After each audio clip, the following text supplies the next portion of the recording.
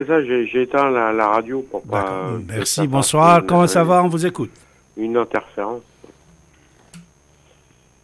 Ouais, ben, je vous écoute depuis très longtemps et, Oui, et moi je suis exaspéré par la situation. oui, vous avez tout à fait raison. Oui. Ils veulent faire condamner M. Poutine alors qu'ils ont, ils ont massacré 450 000 civils irakiens en 1990. Et là, il n'y a aucune condamnation. Ils ont détruit une partie du Liban. Et je vais pas tout citer, mais c'est- effrayant. Moi, je refuse leurs vaccins, toutes leurs conneries. Là, on n'en peut plus. Il y a un moment, c'est- insupportable. Et il y avait Pierre Hillard en 2010, et il croyait que Poutine il faisait partie des mondialistes, mais il s'était trompé. Et je l'avais, j'avais appelé à l'époque. Ouais. Et là, la, la fracture, elle est là. Euh, Huntington, Huntington, il s'est trompé sur toute la ligne. La fracture, elle est là. Elle n'est pas sur l'islam ou je sais pas quoi. Hein voilà.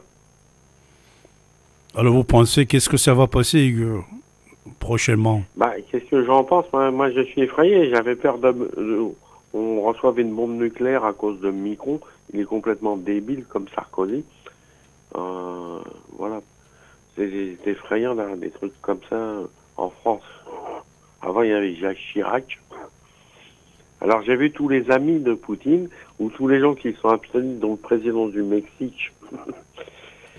Et c'est très in- intéressant avec Asselineau, donc euh, il a cité tous les présidents, mais euh, bon, j'étais au courant d'une partie. Mais, mais là, là, je, je suis rassuré depuis quelques jours, mais moi j'avais peur. Parce que dans ma famille, il y a que des micronistes. Et moi, je, moi j'avais voté Fillon, et c'était truqué déjà en 2017. Je savais très bien. Alors là, euh, moi je vais voter Dupont-Aignan pour, pour sor- euh, Philippot sortir de l'OTAN de de, et de l'Union européenne. Bah, Asselineau, il a pas ses signatures. Voilà. Mais les, les gens sont complètement débiles. Mais je veux, je veux pas vous déranger. Moi, je vous écoute, hein, des, des. Non, non, non, je vous écoute. Alors, euh, vous savez de toute façon, Igor, euh, la guerre euh, d'Ukraine est condamnée, mais de l'autre côté, ouais, vous avez tout à fait raison. Il y avait. C'est comme la guerre d'Irak. Voilà, voilà, Parce que lui, il veut faire une nouvelle monnaie. C'est pour ça qu'ils ont abattu Kadhafi et Saddam Hussein. exactement. ouais. C'est pour ça c'est fumier.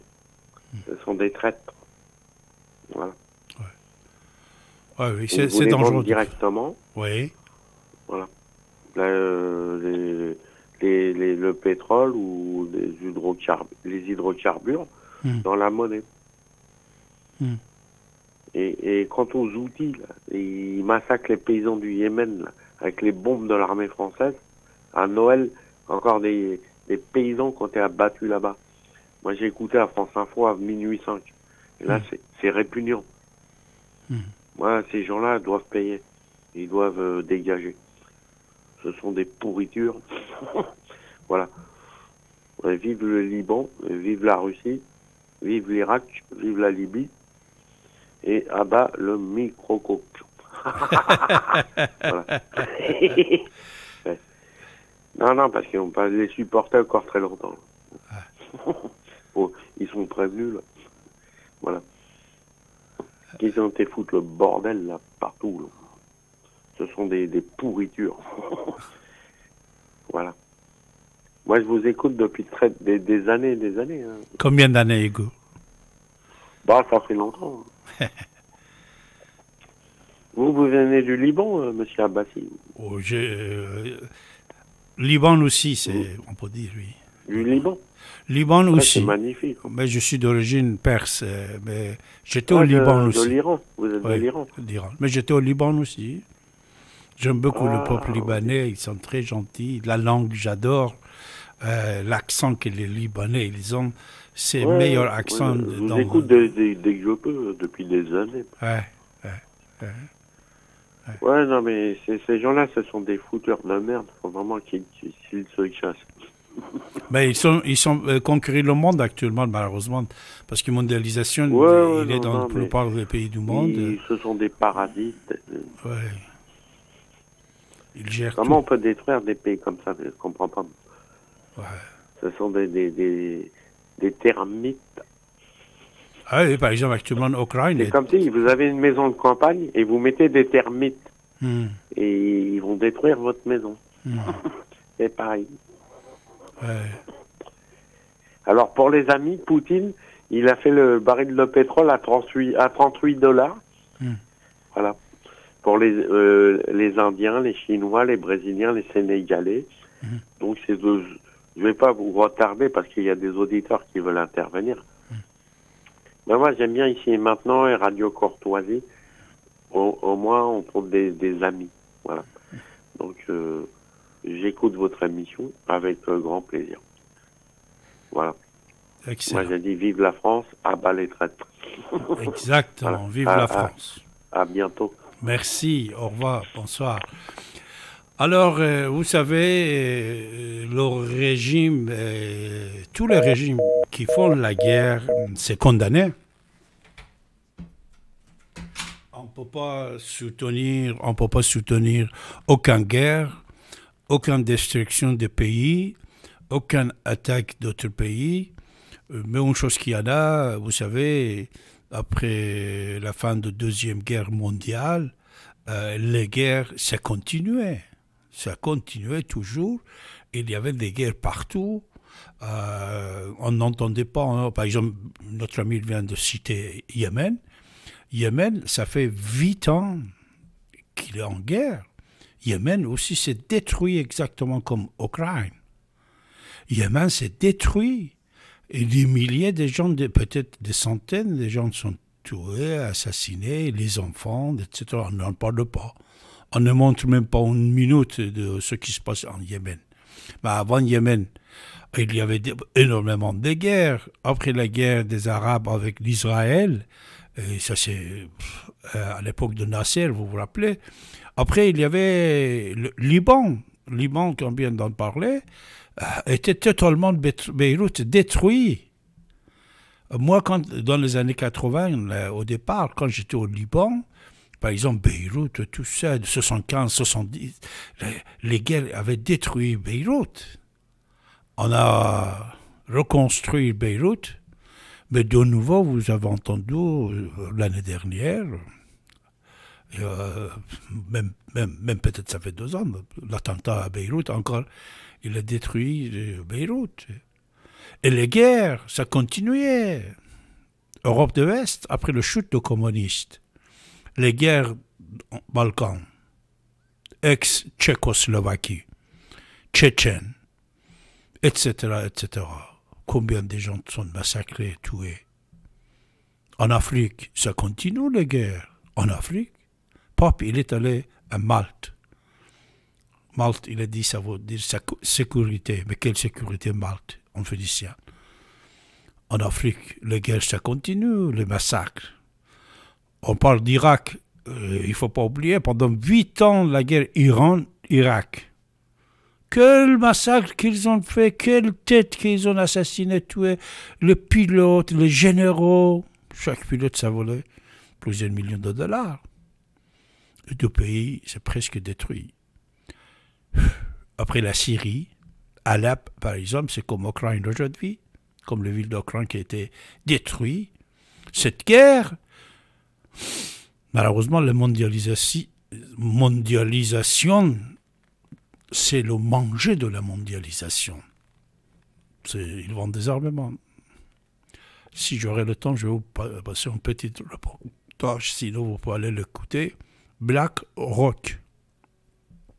Vous tapez Black Rock, mertv.fr, non, pas point .fr, mertv.fr, Black Rock sur YouTube. Vous allez trouver. C'est un reportage qui est fait par euh, l'Europe, les Européens. Euh, il parle de quelque chose qui est très intéressant, que vous ne savez pas. Moi, j'en avais déjà parlé. Mais ce sont eux qui vendent tout. C'est-à-dire tous les armements vendus au Yémen ou à Arabie Saoudite, à Ukraine, ou maintenant euh, Russie ou tout ça, l'origine c'est la même chose.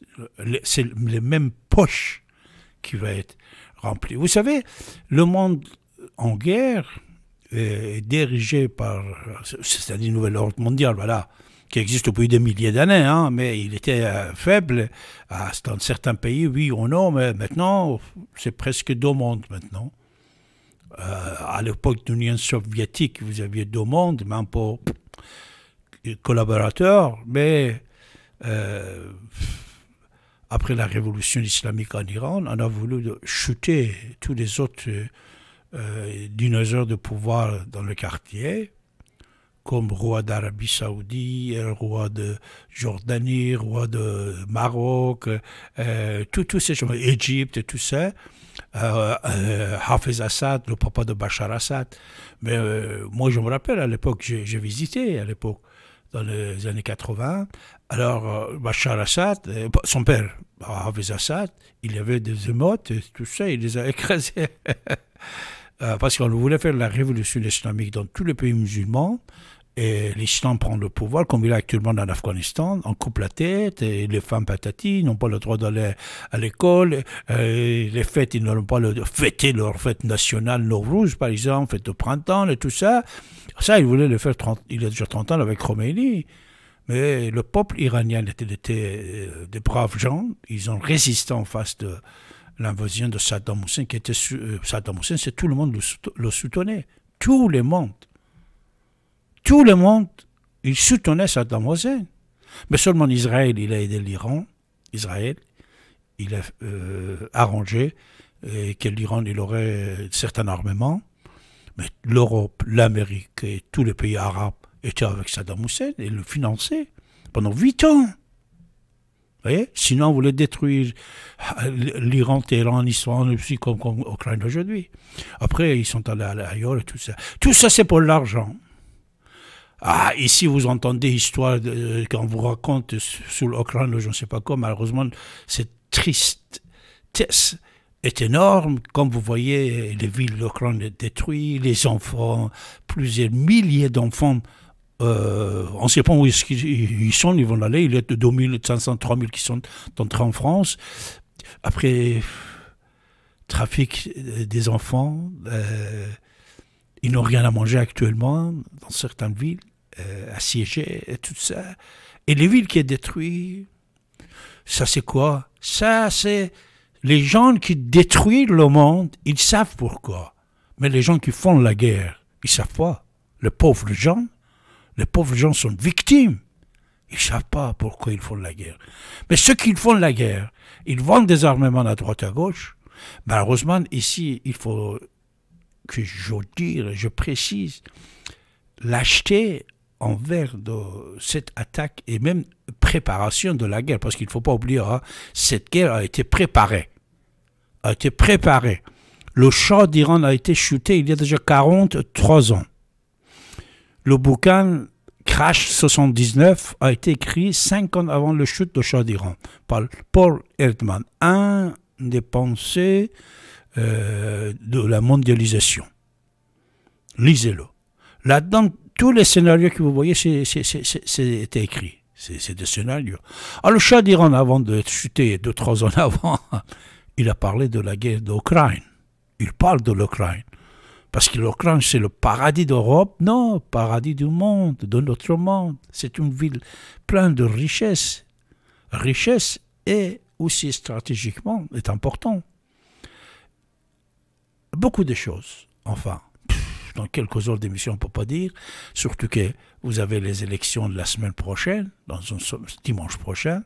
On va voter. Il y avait des nouvelles aussi à ce sujet-là. Mais puisque on va vous entendre si vous, voulez bien intervenir. Sinon, je vous invite d'écouter. Ça, c'est très intéressant. C'est très intéressant. Écoutez ça. Ça, ce que vous allez écouter, c'est à part de ça c'est quelque chose que, mes chers amis, euh, vous allez tellement étonner et surpris de ce que vous allez entendre. L'argent gouverne le monde. Personne n'en possède davantage que l'investisseur financier BlackRock. la société dispose de plus de 6 000 milliards de dollars d'actifs. Ils proviennent majoritairement de gros investisseurs, mais aussi de millions de petits épargnants. Lorsqu'on brasse autant d'argent, on peut influencer des entreprises, des politiciens et même des États. Avec quelles conséquences pour nous tous? Pourquoi en sait-on aussi peu sur le plus grand des géants de la finance mondiale Personne ne voulait me parler autrement que sous couvert d'anonymat. I think BlackRock is an extremely dangerous company. Le siège de BlackRock, le plus grand investisseur financier du monde, se trouve sur la 52e rue à New York, en plein cœur de Manhattan. Non pas sur Wall Street, mais dans un quartier de bureaux ordinaire.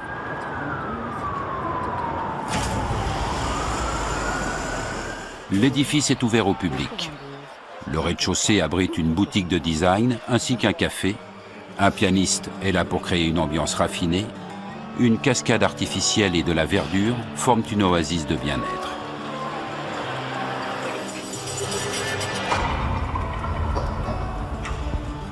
Les bureaux de BlackRock se trouvent derrière cette imposante barrière. Le soir, les livreurs de repas se bousculent au portillon.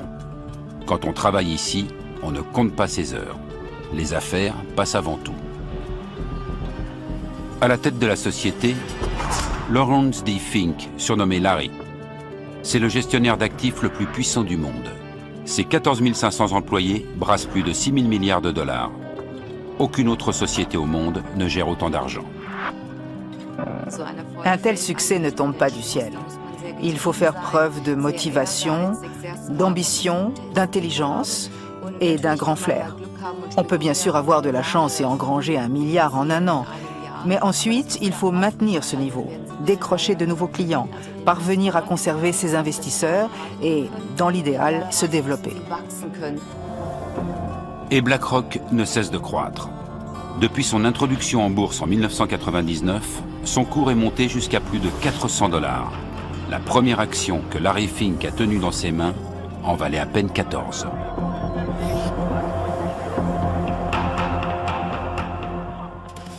La journaliste boursière Heike Burter a suivi l'ascension de BlackRock depuis le début et a écrit un livre sur le sujet.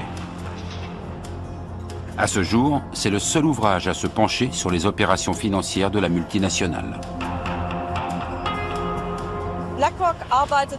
BlackRock travaille avec ce que Wall Street appelle OPM, Other People's Money, l'argent des autres. C'est celui que les financiers préfèrent utiliser. BlackRock a même érigé cela en système. Il travaille avec l'argent de fonds de pension, d'assurance et de petits épargnants. Toute personne désireuse d'investir son argent peut s'adresser à BlackRock, qui va l'investir pour elle. Parmi les clients de BlackRock, on trouve de gros investisseurs, comme le fonds souverain norvégien ou le fonds de pension californien CalPERS. Les sommes placées se comptent souvent en milliards. À partir d'une dizaine de millions, BlackRock fournit un conseil personnalisé.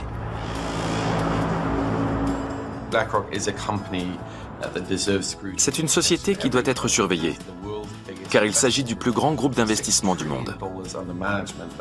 Avec 6 000 milliards de dollars d'actifs, elle est plus grosse que la plupart des banques, du moins en termes d'argent brassé. Depuis la crise financière, les groupes comme BlackRock sont les nouveaux rois du marché.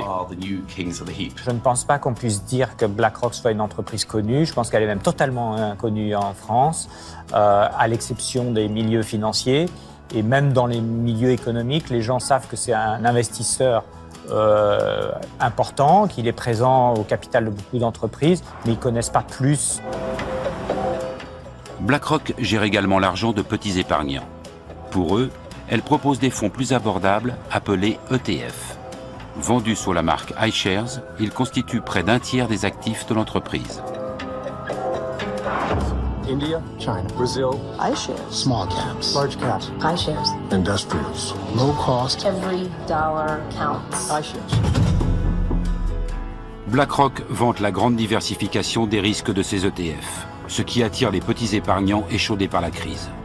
Mais certaines voix s'élèvent pour dire que la multinationale a trop d'argent, qu'elle domine les marchés et pourrait mettre en danger l'ensemble du monde financier si elle se retrouvait en difficulté. Larry Fink réfute cependant ces critiques.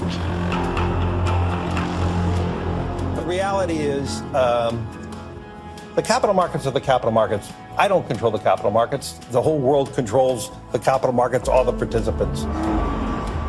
L'influence de Larry Fink sur les marchés est-elle réellement aussi faible qu'il le prétend? Il est permis d'en douter. Au cours de la décennie qui a suivi la crise financière de 2009, BlackRock est devenu le plus gros investisseur du monde, en grande partie grâce aux ETF.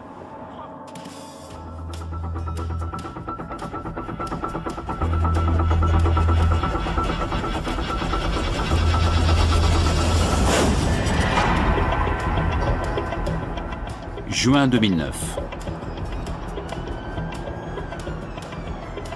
Alors que la crise tient le monde entier en haleine, BlackRock rachète pour 13,5 milliards de dollars la filiale d'investissement de la banque britannique Barclays, ruinée.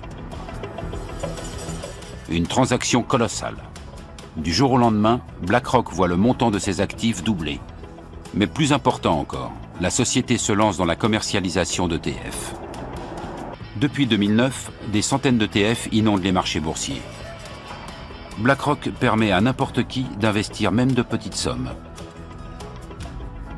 Bien que la marque iShares évoque un produit Apple, elle appartient à BlackRock. La société gagne de l'argent en facturant la gestion de ses fonds. Ses tarifs sont nettement inférieurs à ceux de ses concurrents. Mais avec 2000 milliards de dollars placés dans les ETF, l'affaire reste juteuse. On fait un placement sur tout un marché ou sur un segment de marché. Tous les constructeurs automobiles, toutes les actions européennes ou ce que vous voulez. C'est un peu comme chez un marchand de glace. Il y a des ETF à tous les parfums. Aux États-Unis, les ETF sont particulièrement à la mode. Actuellement, 2800 milliards de dollars sont placés dans les fonds négociés en bourse. Carl Icahn est l'archétype, comment le dire poliment? C'est l'archétype du type qui est tellement riche qu'il se fout tout simplement de tout. Il peut dire ce qu'il veut. Et il lui arrive parfois d'être impertinent. Je pense qu'il a simplement voulu piquer au vif Larry Fink, qui n'était pas vraiment habitué à ce qu'on lui rentre ainsi dans le lard. I think BlackRock is an extremely dangerous company. Okay, and, and I, I know, and I, and I mean this.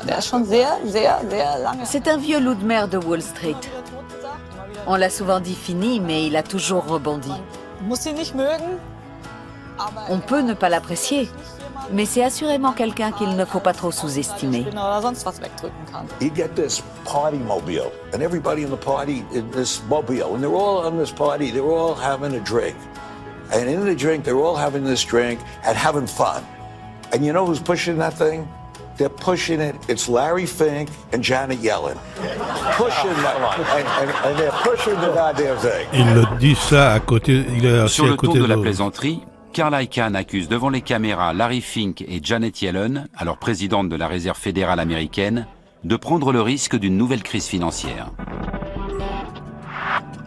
Ce que vous l'avez maintenant. This party thing is going. Every once in a while, Janet wants to, she wants to put the brakes on it. And Larry says, no, let it go. And the people in the party are yelling, no, no, don't touch those brakes. Don't touch, this is fun. And they're moving toward this cliff, see? And the cliff is there. And this thing is going to go over this cliff. And you know what's going to destroy it? They're going to hit a black rock. That's right. That's what I'm saying. Un spécialiste de premier plan qualifie BlackRock de danger pour le monde de la finance. Son attaque va ternir l'image de l'investisseur financier. Y a-t-il vraiment trop d'argent placé dans ces ETF Le siège allemand de BlackRock se situe non loin de la BCE. Gestionnaire d'actifs à l'échelle mondiale, la multinationale brasse aujourd'hui bien plus d'argent que la plupart des banques. Mais elle est nettement moins contrôlée. Puisque ce n'est pas un établissement bancaire et qu'elle n'accorde pas de crédit, elle n'est pas considérée comme étant d'importance systémique. On dit qu'un établissement présente une importance systémique. Cet reportage est très intéressant. Énormément de à valeur. Depuis 2016, son cours a grimpé d'environ 70%. 70. BlackRock investit aussi dans d'autres groupes d'armement. Voilà. Ça, c'est très Est-ce en adéquation avec les lettres de Larry Fink dans lesquelles il appelle à plus de justice et de responsabilité vis-à-vis -vis de l'environnement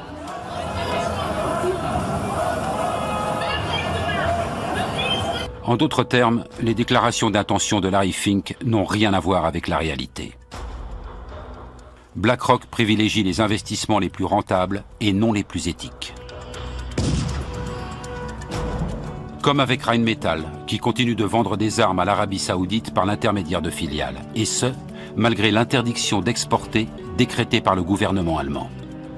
Et peu importe si le régime saoudien torture ses ressortissants et assassine les journalistes indésirables. On l'a notamment vu avec l'affaire Jamal Khashoggi.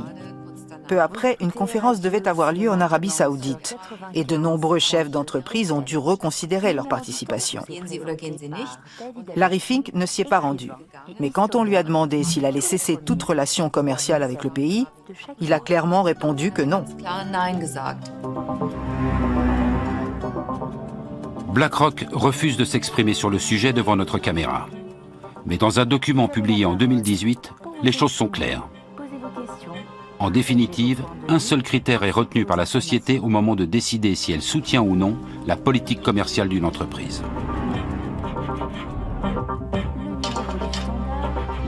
Nous voterons contre la direction si l'entreprise ne réagit pas ou ne semble pas agir dans l'intérêt à long terme des actionnaires. BlackRock reconnaît donc indirectement faire pression sur les entreprises lorsque les affaires ne vont pas comme prévu. Dans ce même document, la société indique également qu'elle souhaite promouvoir des critères ESG, c'est-à-dire environnementaux, sociaux et de gouvernance. Mais elle ajoute Les critères ESG sont souvent mal compris et on croit qu'ils impliquent de tenir compte des valeurs sociales et politiques dans le processus d'investissement. Il n'en est rien. Et le siège de BlackRock à Francfort précise encore sans ambiguïté les gestionnaires d'actifs ne peuvent pas utiliser les actifs de leurs clients pour promouvoir leurs propres opinions sociales ou politiques. BlackRock n'intervient pas dans les décisions d'ordre moral, mais s'ingère dans les autres aspects de la vie de l'entreprise. Son influence va-t-elle au-delà des votes lors des assemblées générales annuelles? Une décision importante est prise en clôture. Avec le soutien de la France et de l'Allemagne, BlackRock devra développer un fonds censé investir, par exemple, dans les industries durables en Afrique. L'approche de ce projet a été faite euh, à travers effectivement euh, la rencontre entre Larry Fink et le président Macron. Le souhait à la fois euh, de Larry Fink était de s'engager à la demande de ses clients sur des projets d'investissement verts et euh, le président Macron est à l'initiative de cette plateforme d'engagement euh, que rejoignent beaucoup d'acteurs euh, du secteur privé et des acteurs de la finance. Larry Fink demande ensuite au président français de lui ouvrir le marché des pays en développement, officiellement pour sauver le climat. Mais on peut aussi penser que la France et l'Allemagne aident tout simplement BlackRock à conquérir de nouveaux marchés et à gagner des investisseurs supplémentaires on lui propose de sortir de sa zone de confort. Euh, et comme il ne connaît pas particulièrement les géographies euh, des pays du Sud, notamment Afrique, euh, les deux agences de développement, que ce soit la KfW ou l'AFD, sont pour lui un partenaire essentiel pour maîtriser le risque. Aucun projet n'a encore été concrétisé. Une chose est néanmoins sûre, le fonds ne devrait pas investir dans les pays très pauvres, mais uniquement dans les marchés en expansion. La volonté de BlackRock de quitter sa zone de confort pour sauver le climat a visiblement ses limites. D'autant que le groupe continue d'engranger de l'argent avec des entreprises peu soucieuses de protéger l'environnement. Cette contradiction entre parole et acte a donné lieu à de nombreux actes de protestation. Larry Fink se fait régulièrement épingler pour ses investissements dans les énergies sales comme le charbon, le pétrole ou le gaz. La mainmise de BlackRock grandit à chaque nouvel investissement. Le groupe vote déjà aux assemblées générales de 17 000 grandes sociétés du monde entier et influence donc leur stratégie. 17 000 sociétés. 17 000 sociétés. Pour le chercheur Martin Schmalz, c'est une bonne raison d'étudier scientifiquement l'influence de l'investisseur financier. Étant donné que BlackRock est le principal actionnaire de très nombreuses entreprises, quelles conséquences cela a-t-il pour l'économie mondiale? J'imaginais que Bill Gates était l'actionnaire majoritaire de Microsoft, de même que Steve Jobs ou Tim Cook chez Apple, ou encore Mark Zuckerberg chez Facebook, comme la presse peut le laisser entendre. Mais il s'avère qu'il n'en est rien. J'ignorais totalement que dans ces sociétés, les plus gros actionnaires sont non pas les fondateurs, mais Vanguard, BlackRock ou d'autres investisseurs de ce type.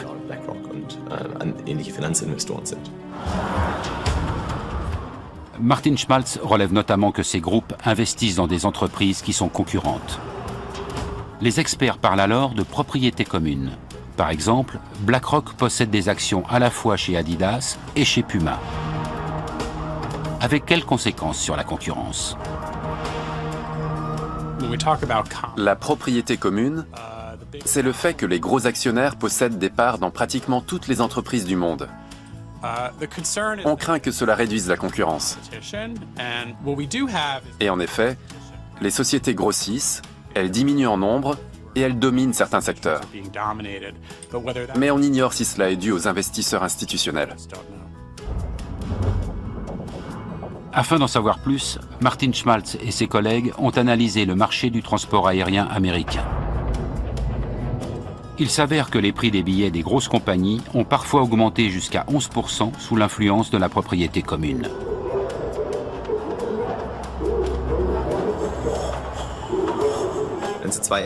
Disons que vous possédez une compagnie aérienne et moi une autre, et que nous décidons d'échanger une partie de nos actions afin de devenir propriétaires à part égale.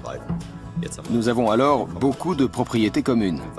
Les chiffres montrent que lors de telles transactions, généralement moins extrêmes que dans cet exemple, les prix du marché augmentent.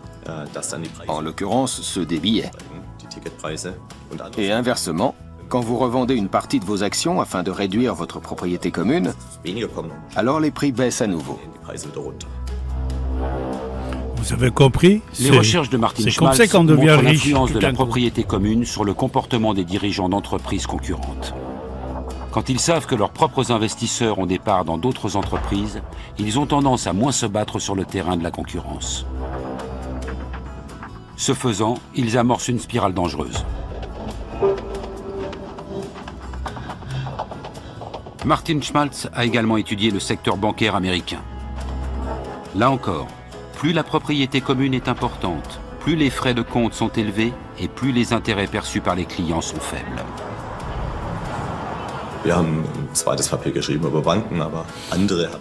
C'est incroyable ce que vous venez d'entendre. Je ne sais pas euh, si vous pouvez imaginer comment le monde est manipulé par euh, une seule société euh, d'économie, 17 000 sociétés l'attendent, et Adidas et Puma, et, et, beaucoup d'autres euh, ONG de l'autre côté sont là-dedans. Alors vous, qu'est-ce que vous en pensez? De toute façon, maintenant aussi, c'est votre tour. Hein? Je vous prie de nous appeler pour vous exprimer et nous donner votre avis à ce sujet.